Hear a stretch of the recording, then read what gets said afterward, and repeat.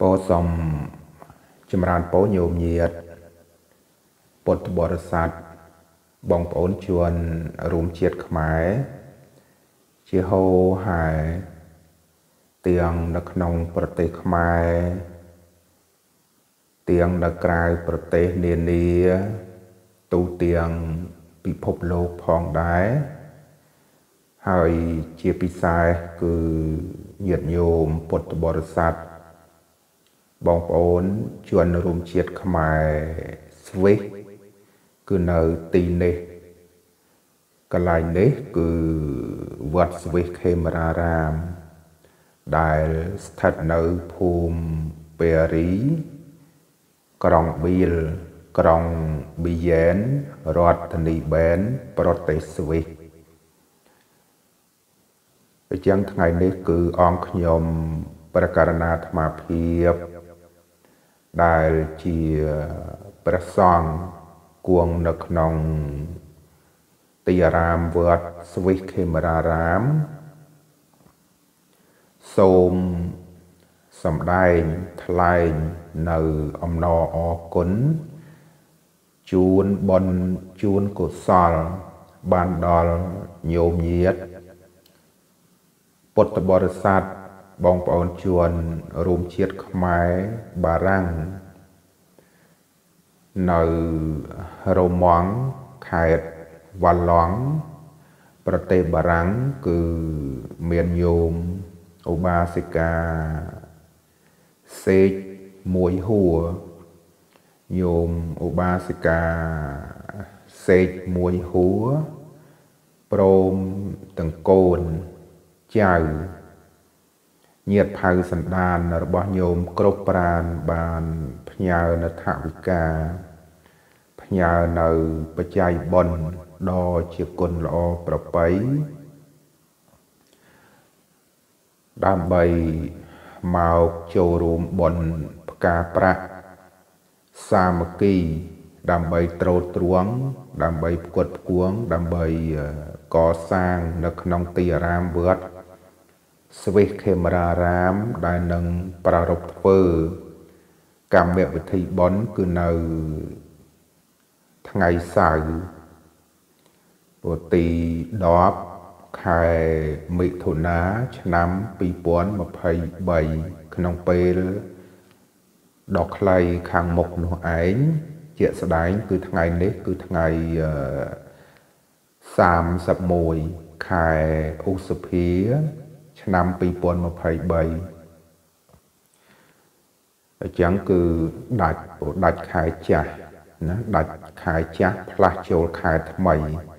គឺដាច់ខែ5ចូលខែ6នៅថ្ងៃស្អែកនឹងឯងចរន្តពោចឹងបនផ្កាប្រាក់សាមគ្គី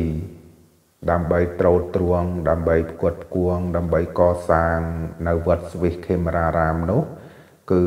ប្រារព្ធធ្វើកម្មវិធីបុណ្យគឺថ្ងៃសៅរ៍ទី10ខែ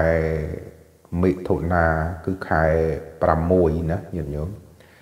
ឆ្នាំ2023នៅក្នុងទីអារាមវត្តស្វិសខេមរារាម ស្ថិតនៅភូមិពេរីក្រុងប៊ីលក្រុងប៊ីយ៉ែនរដ្ឋធានីបែនប្រទេសស្វីស ដូច្នេះក៏សូមអំពាវនាវសូមបណ្ឌិបាតសូមផ្សព្វផ្សាយនៅព័ត៌មានទាំងឡាយនេះជួនជាដំណឹងឲ្យបានដឹងដល់ញាតិញោម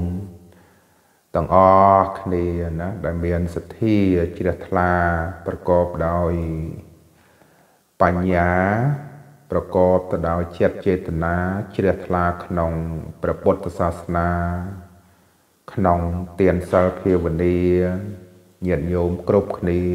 ទាំងនៅក្នុងប្រទេសស្វីសនេះក្តីនៅក្រៅប្រទេសនានាក្តីក៏សូមអញ្ជើញញាតិញោមប្រុសស្រីចូលរួម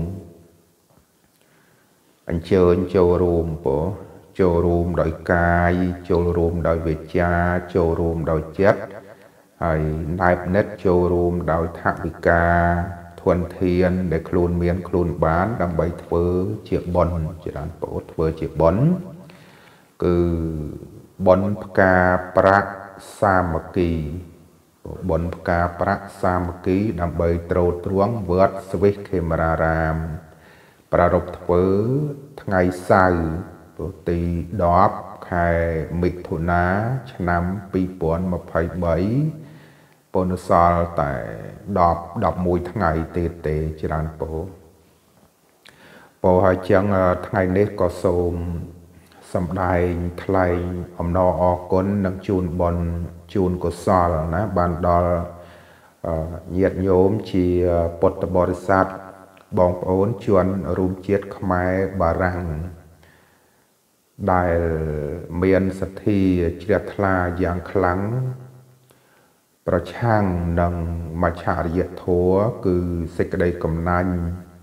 ស្វិតស្វាញក្នុងខណ្ឌសន្តាន ហើយញាតិញោមគ្រប់ប្រានក៏បានផ្ញើនៅថវិកាផ្ញើនៅបច្ច័យកម្រៃជាបុណ្យបដជាគុណណាល្អប្របីពីទឹកដីនៃប្រទេសបារាំងគឺតំបន់វ៉ាឡង់ណារ៉ូម៉ង់ តំបន់រ៉ូម៉ង់ខេត្តវ៉ាឡង់ប្រទេសបារាំងព្រោះក្នុងនោះគឺមានលោកចិនសារ៉ាត់ព្រោះលោកចិនសារ៉ាត់និងភរិយាចិនម៉ារីព្រោះនឹងភរិយាចិនម៉ារី មានសទ្ធាជ្រះថ្លាចូលបច្ច័យបនណាចំនួន40អឺរ៉ូពោ40អឺរ៉ូ ពោហើយលោកពោតសារ៉ាន់លោកពោតសារ៉ាន់និងភរិយា អ្នកស្រីពោតរ៉ានីព្រោះអ្នកស្រីពោតរ៉ានីណាព្រមទាំងកូនចៅសពគ្រប់ប្រការ មានសទ្ធាជ្រះថ្លាចូលបនព្រោះ40អឺរ៉ូព្រោះ40អឺរ៉ូព្រោះឧបាសិកាសេកមួយហួរ ញោមឧបាសិកាសេកមួយហួរពោដែលត្រូវជាម្ដាយក៏ដូចជាម្ដាយក្មេកណារបស់ញាតិញោមទាំងអស់គ្នានេះដែរចឹងញោមមានសទ្ធាជ្រះថ្លាជាហោហែគឺអឺក្នុងនោះគឺបច្ច័យរបស់ញោមណាអឺខ្ទួងអឺ 600 600អឺរ៉ូ600អឺរ៉ូចឹងសទ្ធាជ្រះថ្លារបស់ញោមឧបាសិកាសេកមួយហួរញោមឧបាសិកាសេកមួយហួរនៅរ៉ូម៉ង់ខេត្តវ៉ាឡង់ប្រទេសបារាំងពោសរុបថាវិការដែលអាត្មាបានទទួលកាលពីថ្ងៃម្សិលមិញណាញោមផ្ញើមកតាមម៉ាន់នីក្រាម តាមធនាគារផ្ញើប្រាក់គឺម៉ាន់នីក្រាមណាពញោមផ្ញើមកចំនួនសរុប700អឺរ៉ូហើយ700អឺរ៉ូយើងបើកចេញជាលុយស្វីសច្រើនពោលុយហ្វ្រង់ស្វីសគឺបាន637ហ្វ្រង់ស្វីសបើចឹងញោម ផ្ញើមក700អឺរ៉ូហើយយើងបើកចេញជាលុយហ្វ្រង់ស្វីសគឺមានចំនួន630ហ្វ្រង់ស្វីស637ហ្វ្រង់ស្វីសបងពោឲ្យក្នុងថាវិការដែល ញោមមានសទ្ធាជ្រះថ្លាដែលសរុបទៅ700ប៉ុន្តែយើងបើកបានជាលុយហ្វ្រង់ស្វីសគឺបានតែចំនួន637ហ្វ្រង់ស្វីសនេះ ក្នុងនោះគឺញោមមានសទ្ធាជ្រះថ្លាចាត់ចែងបែងចែកជាចំណែកជាចំណែកច្រើនពោជាចំណែកជាចំណែកគឺក្នុងនោះគឺបវារណា ប្រកេនជាបច្ច័យ4បូជាជូនដល់ព្រះសង្ឃដែលគួងជាអធិបតីនៅក្នុងទីអារាមវត្តស្វិសខេមរារាម មានអាត្មាភាពលូនសុវ៉ាតហើយនិងព្រះអង្គបូបេតណាបច្ចុប្បន្ននេះចឹងឲ្យញោមពវរណា ប្រកេនជាបច្ច័យ4ចំនួន200ពោ200អឺរ៉ូណាក្នុងមួយ ព្រះអង្គ100អឺរ៉ូចឹង200អឺរ៉ូហើយញោមមានសទ្ធាជ្រះថ្លាចូលបនផ្កាប្រាក់សាមគ្គី ដើម្បីត្រួតត្រងដើម្បីផ្គត់ផ្គង់ដើម្បីកសាងវត្តស្វេខេមរារាម ដែលនឹងប្រារព្ធធ្វើកម្មវិធីបុណ្យនៅថ្ងៃសៅរ៍ទី10ខែមិថុនា ពុឆ្នាំ2023នៅជាង10ថ្ងៃ នៅ10ថ្ងៃទៀតនេះញាតិញោមចឹងញោមចូលបនផ្កាប្រាក់ចំនួន200អឺរ៉ូចំនួន200អឺរ៉ូហើយនឹងចូលបនសម្រាប់ត្រូតទ្រង់ណាត្រូតទ្រង់នៅក្នុងការចំណាយផ្សេងផ្សេងនៅក្នុងទីអារាមវត្តស្វិសខេមរារាមនេះ គឺញោមចូលបន200អឺរ៉ូពោ200អឺរ៉ូពោអញ្ចឹងអឺសូមជូនពរសពសាតុកាអាយុវណ្ណៈសុខៈពលៈពោបដិភណៈរួមដោយសម្បត្តិទាំងឡាយ3គឺសម្បត្តិមនុស្ស សម្បត្តិទេវតា សម្បត្តិដ៏មហាថ្លៃថ្លាអស្ចារ្យគឺសម្បត្តិព្រះនិព្វានពោកើតមានណាដល់ម្ចាស់ដើមទៀនប្រធានដើមបុណ្យដែលមានញោមឧបាសិកាសេកមួយហួរញោមឧបាសិកាសេកមួយហួរព្រមទាំងកូនចៅមានបងពោតសរ៉ាន់ពោតរានី ពពោតសារ៉ាត់ហើយនិងភរិយាចិនម៉ារីពពីទឹកដីនៃ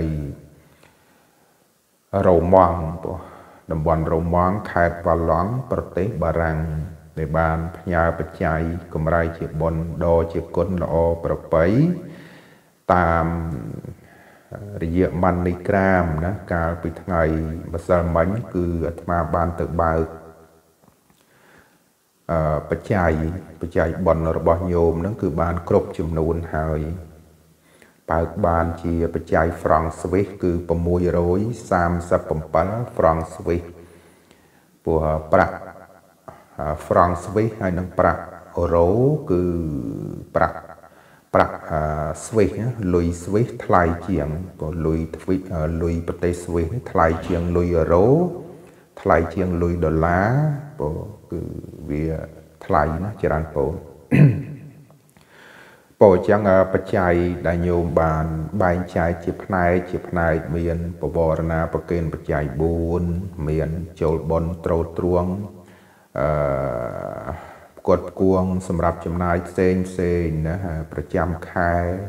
ប្រចាំថ្ងៃសពគ្រប់ប្រការណាដូចជាថ្លៃទឹកថ្លៃភ្លើងថ្លៃអឺ ធនាគារបំណុលចម្ពាក់អឺថ្លៃដីថ្លៃអាគារដែលបានជាវកសាងវត្តនេះ គឺយើងនៅចម្ពាក់គេជាង20ម៉ឺនហ្វ្រង់ស្វីសទៀតគឺក្បែរតែ30ម៉ឺនហ្វ្រង់ស្វីសហ្នឹងញាតិញោមព្រោះថ្លៃដីថ្លៃអាគារថ្លៃជាវអឺ កសាងវត្តនេះ គឺតាំងពីឆ្នាំ2001 2002មកដល់2023នេះ គឺយើងបងរំលោះច្រើនបងរំលោះធនាគារគឺនៅសល់ជាង20ម៉ឺនទៀតណានៅវត្តស្វិសខេមរារាមនេះច្រើនពោហើយអឺតម្លៃដំបូងគឺ80 ម៉ឺន80ម៉ឺនហ្វ្រង់ស្វីសអញ្ចឹងមកដល់ពេលនេះគឺយើងសន្សំបងយើងសន្សំយើងកសាងយើងសាមគ្គីសាមគ្គីគ្នាទៅ ក្នុងកម្មវិធីបន់ផ្កាប្រាក់ក្តីបន់ចូលឆ្នាំបន់កឋិនបន់ភ្ជុំបិណ្ឌច្រើនពោឬក៏បន់ផ្សេងផ្សេងជាលក្ខណៈគ្រួសារ ជាលក្ខណៈសមាគមសពគ្រប់ប្រការហើយញាតិញោមខ្លះក៏បានផ្ញើបច្ច័យពីទឹកដីនៃប្រទេសផ្សេងផ្សេងនៅសហគមន៍អឺរ៉ុបនេះក្តី ពីសហរដ្ឋអាមេរិកក្តី ពីកាណាដាក្តីណាក៏ផ្ញើមក ចូលរួមចឹងទៅក៏យើងចេះតែផ្សំផ្សំយើងចេះតែផ្សំផ្សំចេះតែសាមគ្គីសាមគ្គីគ្នាទៅពគួងតែទទួលបានជោគជ័យគួងតែរួចណាថ្លៃដីថ្លៃអាគារគួងតែអាចកសាងវត្តអាចរិចចម្រើនជឿនលឿនទៅបានជឿនលឿនទៅកើតដោយសារយើងមានគំនិតមានកំណើតគឺការ ដឹកនាំការស្មោះត្រង់ការដែលញាតិញោមជាពុទ្ធបរិស័ទជនរួមជាតិខ្មែរមានចិត្តស្អាតផូរផង់ក៏បានលះបង់នៅថាវិការធនធាន តាមមានតាមបានដើម្បីធ្វើជាបុណ្យច្រើនពោធ្វើជាបុណ្យពោដូចញាតិញោមឃើញស្រាប់ហើយណាគឺអឺការកសាងវត្ត គឺយើងដឹងហើយគឺគ្មានណាមួយតកសាងតែម្នាក់ឯងរួចណានោះទេព្រោះអីព្រោះយើងគេគឺសត្វតែមានគ្រួសារសត្វតែត្រូវខំប្រឹងធ្វើការដើម្បីបានលុយបានកាក់ប្រាក់កាសផ្សេងផ្សេងមកនេះចិញ្ចឹមខ្លួនចិញ្ចឹមម្ដាយឪពុក បងប្អូនកូនចៅធ្វើបន់ធ្វើទានក្នុង សង្គមជាតិក្នុង សង្គមសាសនាចឹងបែងចែកច្រើនពោជាចំណែកជាចំណែកសពគ្រប់ប្រការគឺវាចំណាយច្រើនដែរចឹងជាហោហែការកសាងវត្តការ ការកសាងកុដិសាលាការកសាងព្រះវិហារវត្តអារាម គឺចំណាយច្រើនច្រើនចំណាយច្រើនអញ្ចឹងចំណាយញាតិញោមនៅក្នុងប្រទេសកម្ពុជាយើងដឹងហើយយើងជាទូទៅយើងភាគច្រើនចំណាយទៅលើតែថ្លៃសម្ភារៈកសាងដូចជាឥដ្ឋដែកស៊ីម៉ង់អីសពគ្រប់តែរឿងថ្លៃដី គឺភាគច្រើនមិនចំណាយទេណាព្រោះអីវត្តគឺវាជាវត្តបរមបុរាណដែលបានបន្សល់ទុកតាំងពីយូរជា តែដោយឡែកវត្តនៅក្រៅប្រទេស ដូចជាវត្តស្វិសខេមរារាម ដែលស្ថិតនៅភូមិពេរីក្រុងប៊ីលក្រុងប៊ីយ៉ែនរដ្ឋធានីបែនប្រទេសស្វីសគឺនៅទីនេះកន្លែងនេះនេះគឺយើងទិញទាំងដីទិញទាំងដី យើងកសាងទាំងអាគារហើយអាគារនេះមិនមែនយើងអ្នកកសាងទេគឺអាគារចាស់អាគារចាស់របស់គេណាដែលកម្មសិទ្ធិរបស់គេពីមុនមកគឺអាគារនេះគឺគេជាអាគារអាជីវកម្មការ៉ាស់ពោការ៉ាស់ឡានការ៉ាស់ជួសជុលឡាន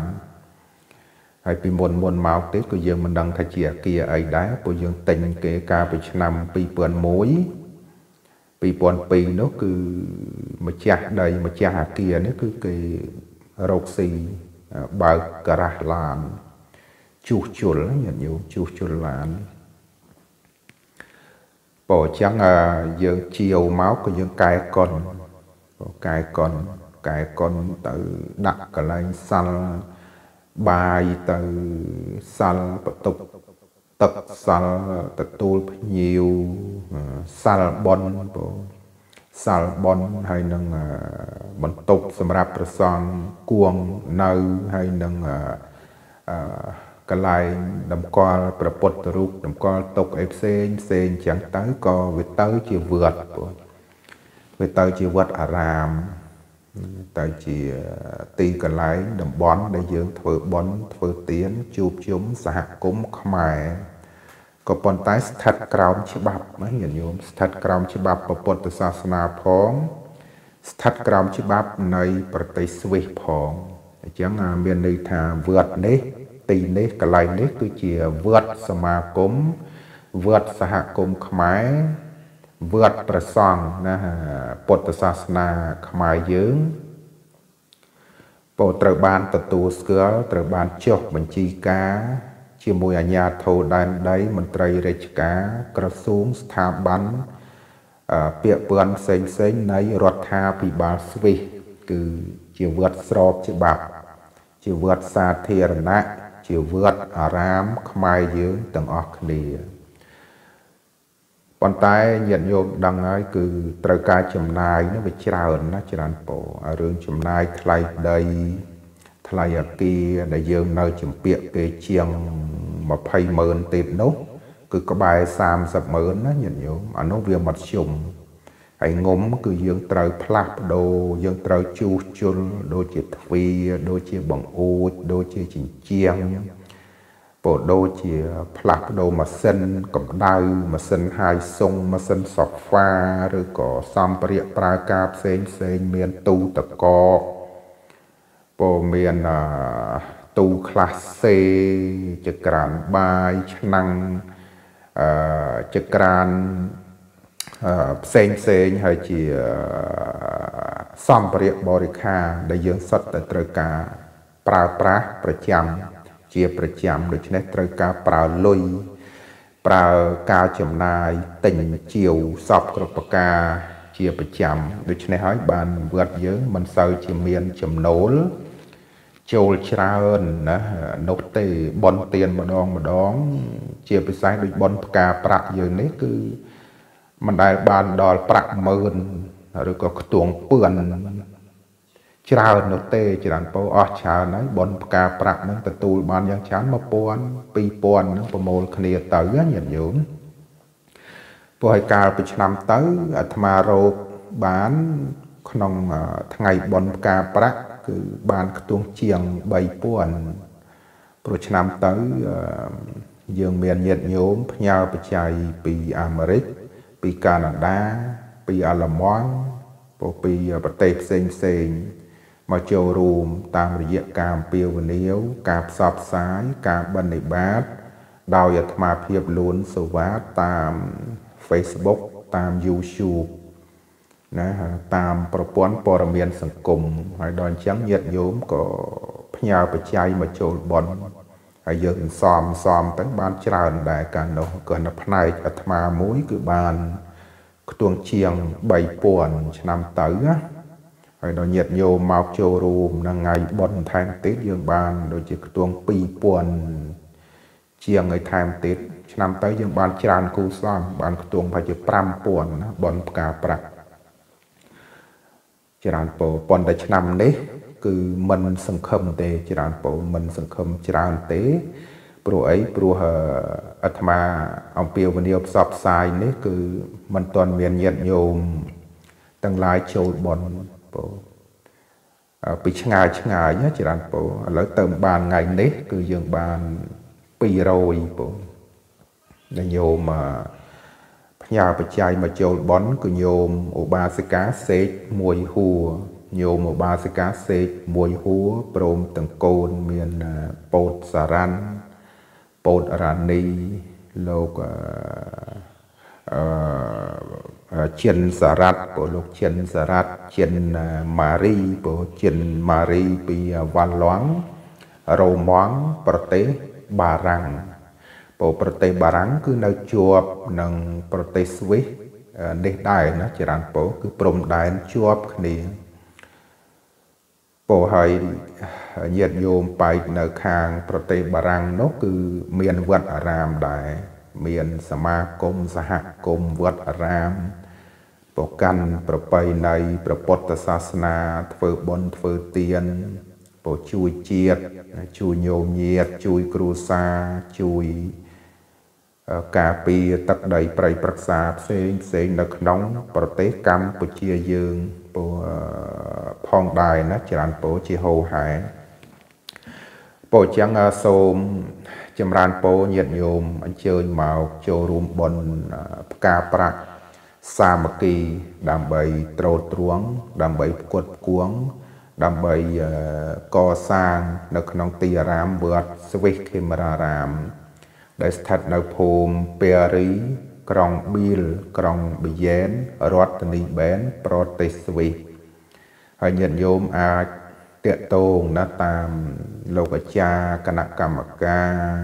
ឬក៏តាមរយៈ អាត្មាភាពលូនសវ៉ាតបាន គឺទូរស័ព្ទ079 621 5422នឹងលេខអាត្មាកាន់ផ្ទាល់គឺ079 621 5422ពលលេខកូដប្រទេសស្វីសគឺបូក41ណាច្រើនបូក41 ប៉ុន្តែសម័យបច្ចុប្បន្នជាសម័យបច្ចេកវិទ្យាជាសម័យព័ត៌មានវិទ្យាដូច្នេះញាតិញោមគ្រប់គ្នាសុទ្ធតែមានអ៊ីនធឺណិតមានទូរស័ព្ទ smartphone ដូច្នេះញាតិញោមអាចប្រើប្រាស់ប្រព័ន្ធអឺទំនាក់ទំនងតាមបណ្ដាញសង្គមដូចជា Facebook ណាដូចជា Messenger Telegram WhatsApp Viber ពពពន់ផ្សេងផ្សេងនឹងអាច call ពូអាចនិយាយអាចឆ្លងឆ្លើយអាចទំនាក់ទំនងផ្ញើសារសពគ្រប់ប្រការដោយមិនអស់លុយមិនអស់លុយញាតិញោមបើយើង call ទូរស័ព្ទវាអស់លុយអញ្ចឹងសូមតំណាក់តំណងតាម Facebook អាត្មាលូនសវ៉ាតគឺ www.facebook.com/lun សវ៉ាតពលូនសវ៉ាតគឺ L U O N S O V A T H Facebook page ពោគឺសវ៉ាតលួន www.facebook.com/ សវ៉ាតលួនសវ៉ាតលួនគឺ S O V A T H L U O N បង S O V A T H L U O N ឬក៏តាម YouTube channel ព www.youtube.com/lunsawat បងអញ្ចឹងអរគុណញាតិញោមថ្ងៃនេះគឺបានញាតិញោមផ្ញើបច្ច័យកម្រៃជាប៉ុនដើម្បីមកចូលរួម ជាផ្នែកជាផ្នែកជាចំណែកជាចំណែកជាការសាមគ្គីគ្នា ជាការរួបរวมគ្នា ជាការជួយគ្នា គឺទោះបីជាញាតិញោមនៅឆ្ងាយញាតិញោមមិនបានជើញមកផ្ទាល់ក៏ញាតិញោមនៅតែអាចធ្វើបន់បានអឺពីខណ្ឌសន្តានគឺសទ្ធា គឺចេតនាគឺការជ្រះថ្លាចេញពីក្នុងខ្លួន ចេញពីក្នុងចិត្តរបស់ញាតិញោមទោះបីជាញាតិញោមមិនបានអញ្ជើញមកផ្ទាល់ក្តីក៏ញាតិញោមប្រុសស្រីនៅតែអាចធ្វើបុណ្យបានហើយបុណ្យនេះគឺគេហៅថាបុណ្យផ្កាប្រាក់សាមគ្គី ដើម្បីត្រោតត្រងដើម្បីផ្គត់ផ្គង់ដើម្បីកសាង នៅក្នុងទីអារាមវត្តស្វិសខេមរារាម ដែលស្ថិតនៅលើទឹកដីនៃប្រទេសស្វីស ប្រារព្ធធ្វើកម្មវិធីបុណ្យគឺថ្ងៃសៅរ៍ទី10ពុទី10ពុទី10ខែមិថុនាខែ6ញាតិញោមខែ6យើងនេះ31ហើយដាច់ខែ5ចូលខែ6ហើយឆ្នាំ2023ណានៅសល់តែ10ថ្ងៃទៀតទេច្រើនពោពោចឹងអរគុណញោមឧបាសិកាសេកមួយហួរ លោកចិនសារ៉ាត់និងភរិយាចិនម៉ារី លោកពោតសារ៉ាន់និងភរិយាពោតរ៉ានីព្រមទាំងកូនចៅប្រុសស្រីណារស់នៅលើទឹកដីនៃខេត្តប្រទេសបារាំងរ៉ូម៉ង់វ៉ាឡង់ប្រទេសបារាំងដែលតែងតែផ្ញើបច្ច័យមកជាច្រើនលើកច្រើនសារហើយញាតិញោមផ្ញើបច្ច័យមកចូលបនកឋិនបនចូលឆ្នាំបនផ្កាប្រាក់ចូលកសាងវត្តប្រកេនបច្ច័យ4មួយចំនួនសពគ្រប់ប្រការគឺជាច្រើនលើកច្រើនសារហើយពោហើយញាតិញោមចូលបនតែដដែលដដែលទេណាញាតិញោមមិនមានសូវជាអ្នកប្លែកអ្នកចម្លែកអីទេភាគច្រើនតែញាតិញោមដដែលដដែលទេពីអាមេរិកក៏ដូចគ្នា កាណាដាក៏ដូចគ្នាពីបារាំងឬក៏ពីអាល្លឺម៉ង់ពីគ្រប់ទិសទីគឺសតតែញាតិញោមធ្លាប់ចូលបនពីមុនពីមុនមកកាលអាត្មានៅក្នុង ប្រទេសកម្ពុជាក៏ញាតិញោមគ្រប់គ្នាតែងតែមានសទ្ធាចូលបន់ដូចជាបន់កសាងស្ពានបន់កសាងសាលារៀនបន់កសាងផ្លូវថ្នល់អណ្ដូងទឹកស្រះ ដាំដើមឈើជាមនុស្សសពគ្រប់ប្រការកសាងទីវត្តអារាម កសាងផ្ទះខ្មែរជួយខ្មែរផ្ដល់ជាជំនួយជួយជាលក្ខណៈមនុស្សធម៌ខ្មែរជួយខ្មែរសពគ្រប់ប្រការ តែបច្ចុប្បន្ននេះគឺអាត្មាមិនបានណាគួងនៅក្នុង ប្រទេសកម្ពុជាទៀតទេ គឺញាតិញោមគ្រប់គ្នាដឹងហើយដោយសារតែបញ្ហាសង្គម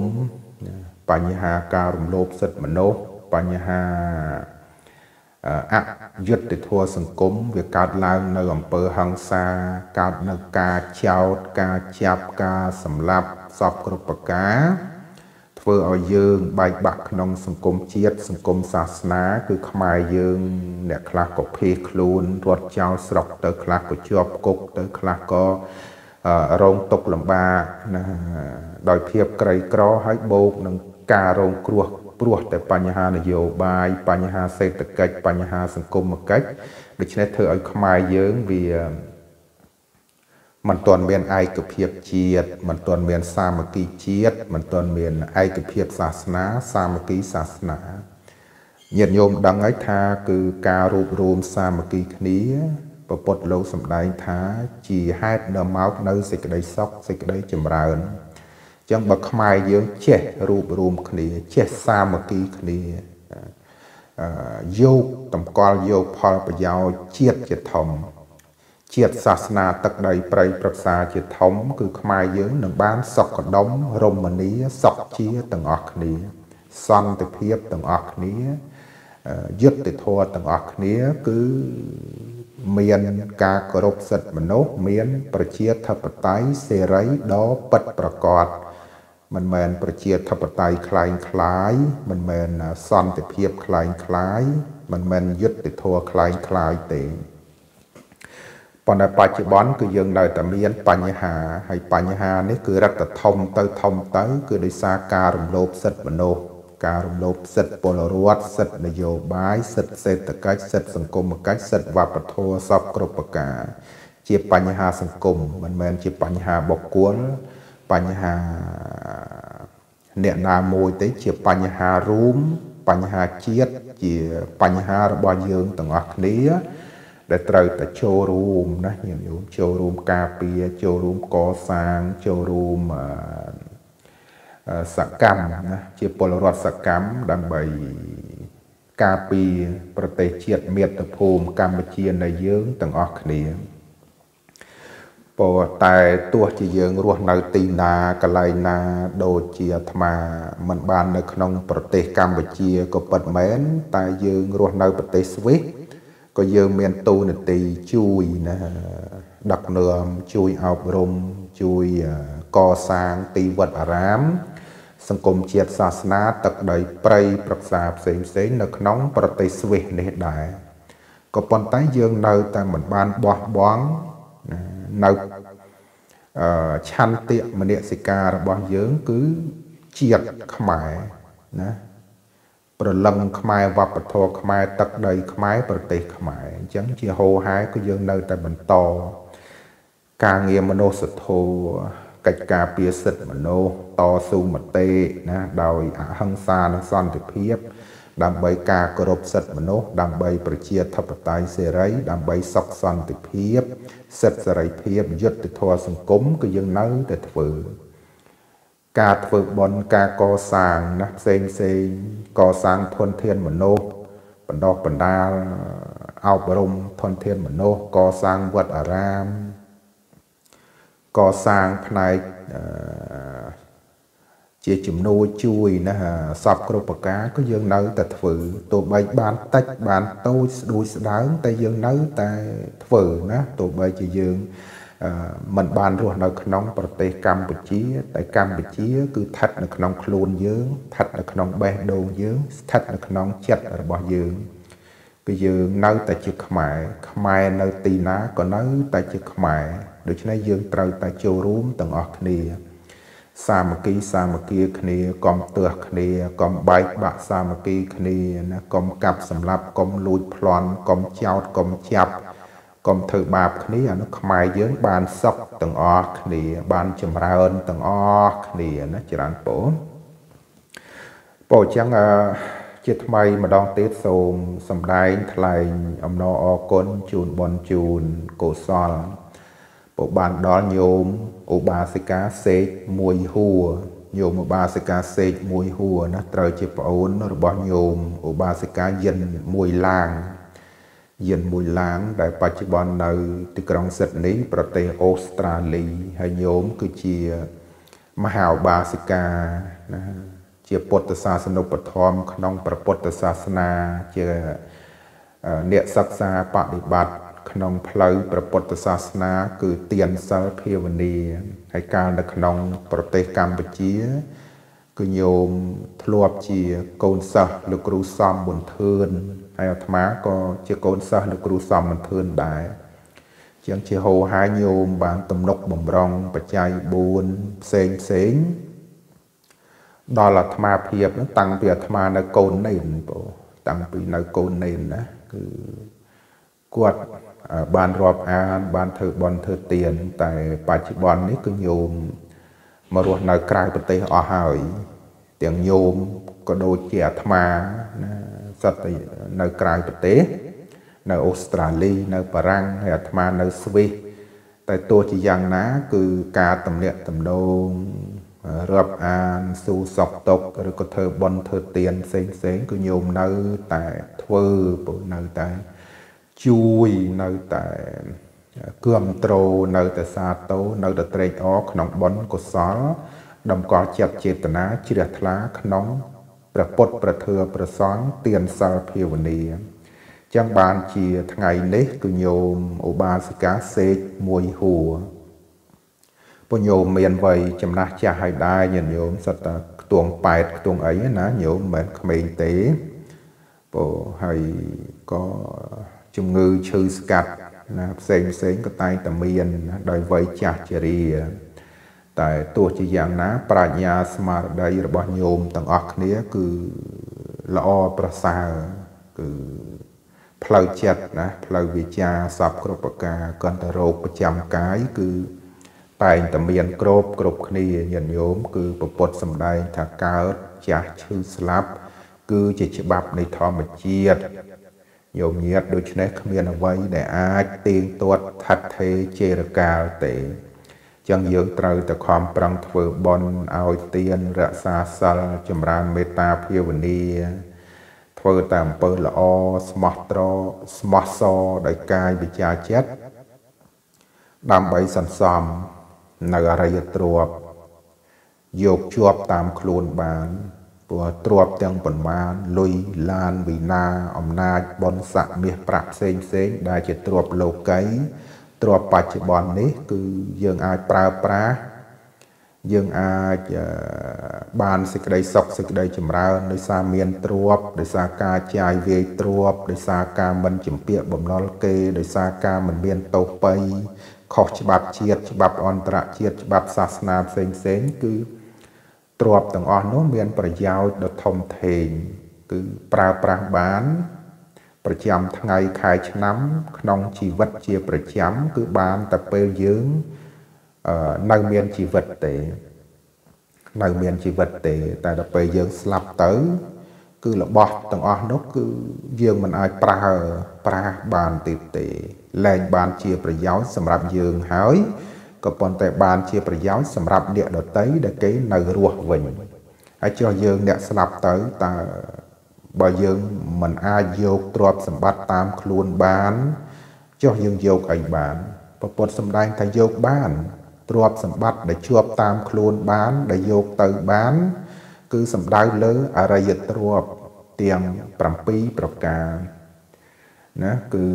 ទី1គឺសទ្ធាញាតិញោម គឺសទ្ធាសទ្ធាធនំសទ្ធាគឺជាទ្របហើយសទ្ធាជាស្អីញញោមសទ្ធាហ្នឹងគឺសំដៅលើជំនឿការជឿត្រូវ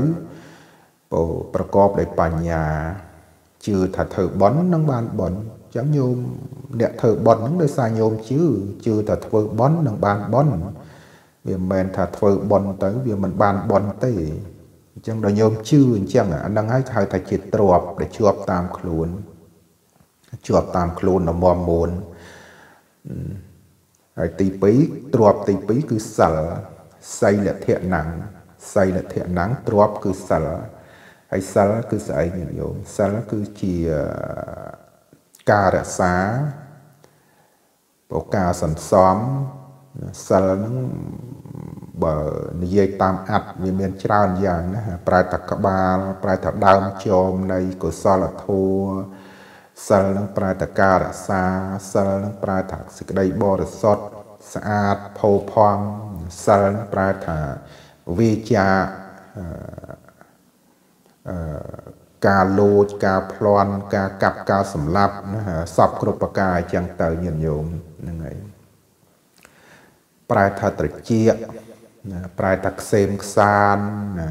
ប្រែថាឱសថ ណាវាដូចជាឱសថព្យាបាលរោគអាជាអញ្ចឹងសិលក៏ដូចគ្នា ជួយព្យាបាលរោគរបស់យើង គឺរោគអីញាតិញោមរោគលោភៈរោគតោសៈរោគមោហៈផ្សេងផ្សេងហ្នឹងរោគគឺកម្មកិលេសកម្មតណ្ហាផ្សេងផ្សេងហ្នឹងរោគគឺមោហៈអវិជ្ជាផ្សេងផ្សេងហ្នឹងហ្នឹងហើយអញ្ចឹងសិលហ្នឹងគឺសំខាន់ណាស់ញាតិញោមមនុស្សគ្រប់រូបបើអត់មានសិល គេហៅថាអត់មានសិលធម៌ណារស់នៅក្នុងសង្គមជាតិរស់នៅក្នុងប្រទេសជាតិរស់នៅក្នុងគ្រួសាររស់នៅទីណាកន្លែងណាក៏ដោយបើយើងអត់មានសិលក្នុងខ្លួនសិលក្នុងវាចាសិលក្នុងចិត្តគឺសិលធម៌សង្គមយើងមិនអាចរស់នៅបានសុខទេញាតិញោមវាខុសទាំងច្បាប់សង្គមជាតិវាខុសទាំងច្បាប់សិលធម៌សង្គមអានឹងហើយបានប្រពុតលោកឲ្យយើងរក្សាសិល សីលេនសុគតੰយន្តិសត្វបានតកើតឋានសូក៏ដោយសារសិលសីលេនភោគសម្បទាសត្វទាំងឡាយមនុស្សសត្វទាំងឡាយបានបរិបូរដោយភោគទ្រពសម្បត្តិទាំងឡាយក៏ព្រោះសិលសីលេននិពុតងយន្តិមនុស្សសត្វទាំងឡាយទេវតាទាំងឡាយណាបានទៅដល់ទីរំលត់តុកពោលគឺព្រះនិព្វានក៏ព្រោះសិលសត្វតែព្រោះសិលទាំងអស់ ជាងក្នុងប្រទេសជាតិរិទ្ធចម្រើនជឿនលឿនបានសុខសន្តិភាព សិទ្ធិសេរីភាព ការគោរពសិទ្ធិមនុស្សគោរពសិទ្ធិសត្វគោរពសិទ្ធិសម្បត្តិធនធានធម្មជាតិទឹកដីព្រៃឈើសត្វព្រៃសពគ្រប់ប្រការបានសុខទៅបានក៏ដោយសារសិលខ្ញុំឃើញក៏ដោយសារសិលអញ្ចឹងសិលហ្នឹងគឺនិច្ចសិលគឺសិលដែលយើងត្រូវរក្សាជាប្រក់ក្រដីរក្សាជានិច្ចណាគឺ អប់រំបន្ទុំកាយវិជាចិត្តវាចាអំពើទុច្ចរិតអំពើបាបកម្មអំពើភូតកុហកអំពើលួចប្លន់អំពើកាប់សម្លាប់អំពើចោតចាប់អំពើហិង្សារំលោភសិទ្ធិមនុស្សសពគ្រប់ប្រការនឹងត្រូវវាចាកចេញអានឹងប្រទេសជាតិបានសុខបានរីកចម្រើន បានជឿនលឿនគឺដោយសារយើងមានសិលនឹងឯងហើយជាពិសេសគឺសំដៅលើមេដឹកនាំប្រទេសអ្នកមានអំណាច កាលណាអ្នកមានអំណាចអត់មានសិលហើយប្រទេសនោះអត់រីកចម្រើនអត់បានសុខទេប្រជាជនក៏បានសុខប្រទេសជាតិក៏បានរីកចម្រើនតែបើអ្នកដឹកនាំមានសិលធម៌ល្អនិយាយពាក្យសច្ចៈទៀងត្រង់ហើយធ្វើតែអំពើ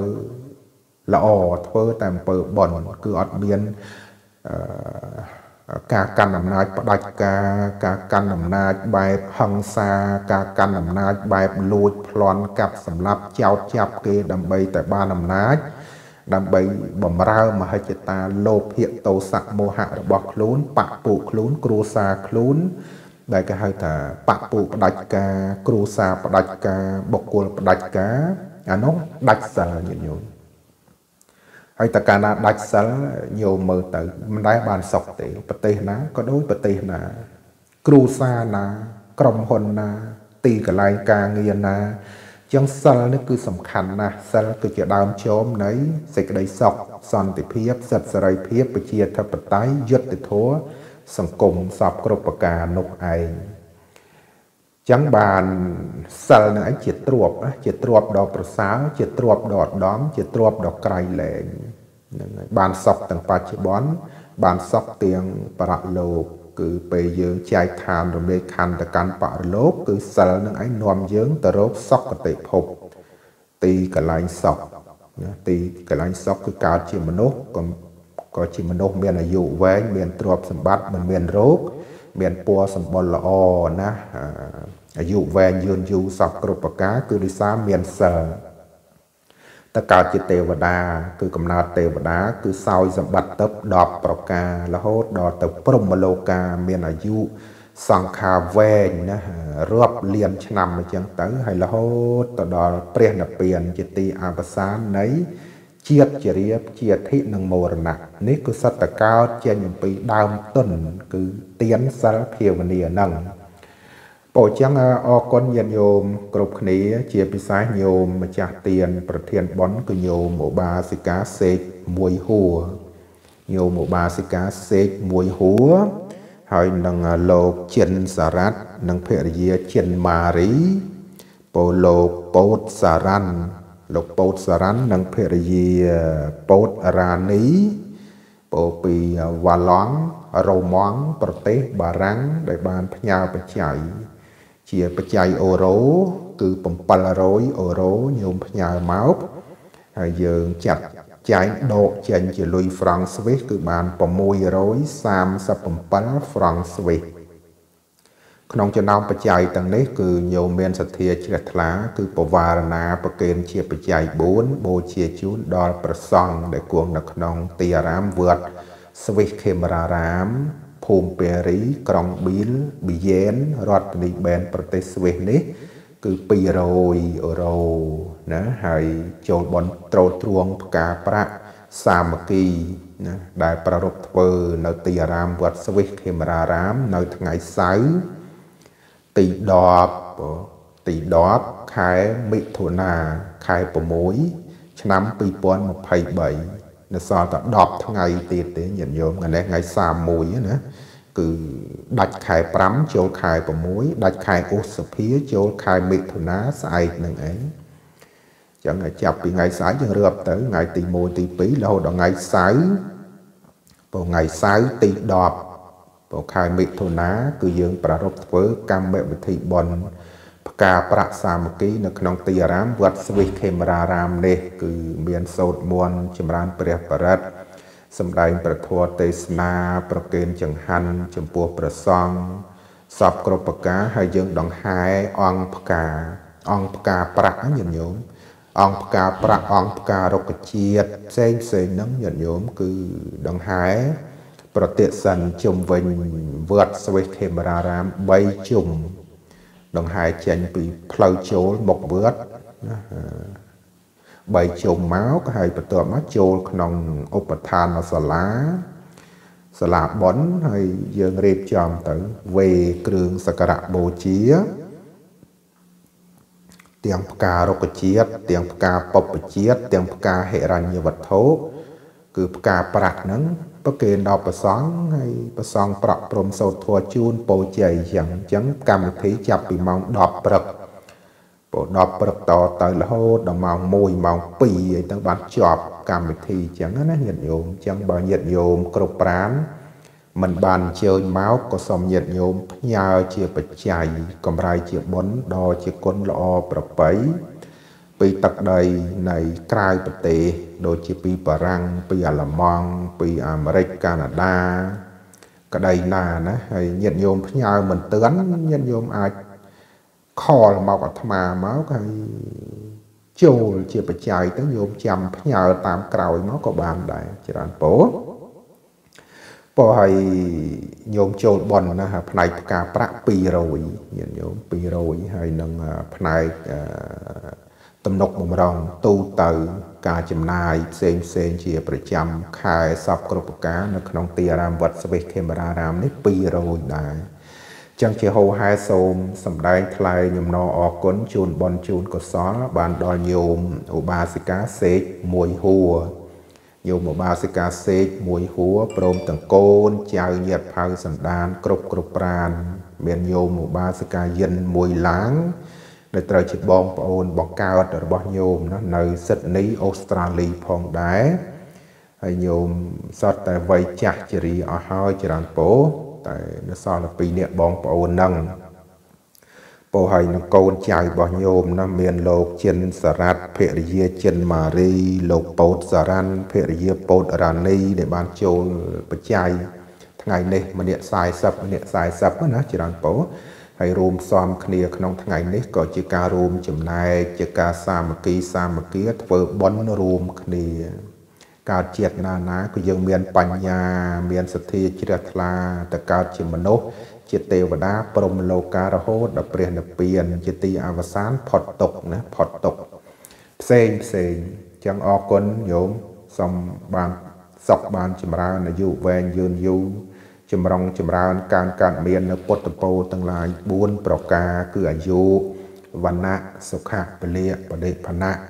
រួមដោយសម្បត្តិទាំង3មនុស្សទេវតាព្រះនិព្វានសូមឲ្យកើតមានដល់ម្ចាស់ទាន ប្រធានបុណ្យគឺញោមឧបាសិកាសេកមួយហួរពីរោមងវ៉ាល់ឡង់ប្រទេសបារាំងព្រមទាំងកូនចៅដែលបានផ្ញើបច្ច័យមកចូលបុណ្យ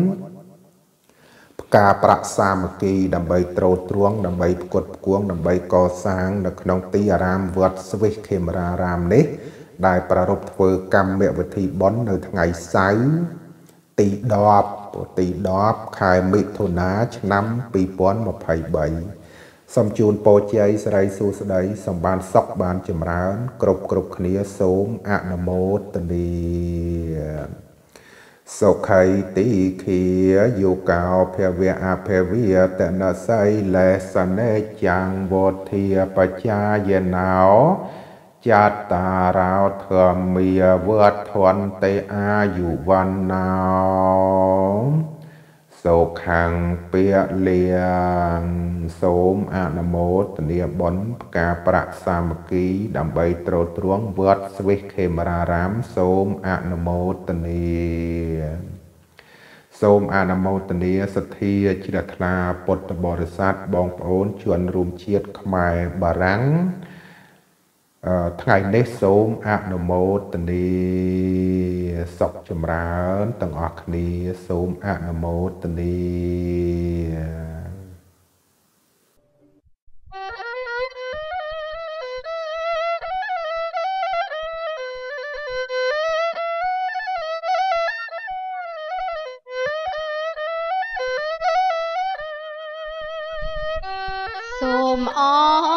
គុណព្រះកង្រណោ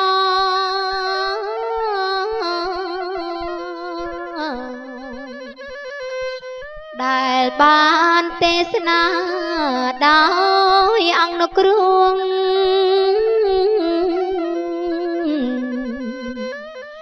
ឲ្យយើងខ្ញុំស្ដាប់យ៉ាងពីងរួង ដោយធម៌សពរងស្រោចស្រង់សัตว์យើងខ្ញុំលើកមកពីចារណោ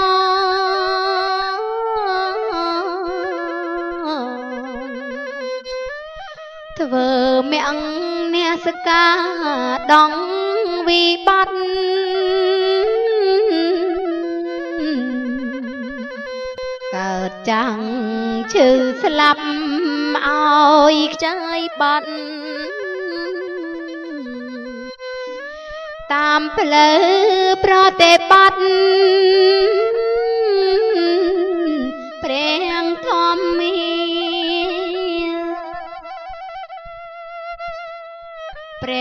ធម៌ទេសនាបំភ្លឺផ្លូវ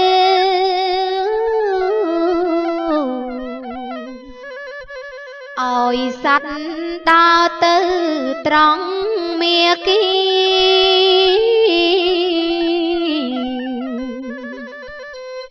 សម្រាញ់នៅពៀនគ្មានតុងខាតា មាញ់ជីងមីមាំង8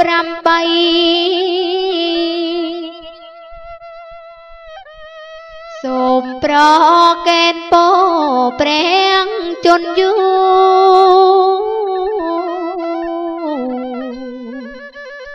សុខភាពបរិបូរគ្មានទុងភ័យ